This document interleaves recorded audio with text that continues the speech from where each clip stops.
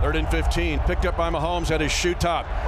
Trying to fight for more time to run. He'll scramble. He's at the 35, but he's ankle tackled there at the 36. And he's hurt.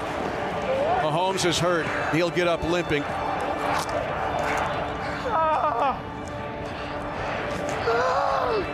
He's in agony on the sideline right now.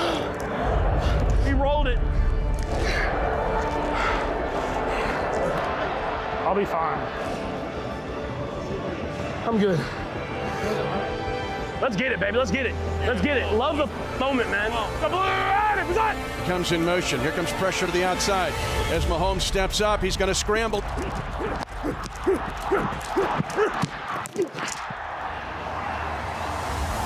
What a run by Mahomes up 26 yards. He is limping back to the huddle.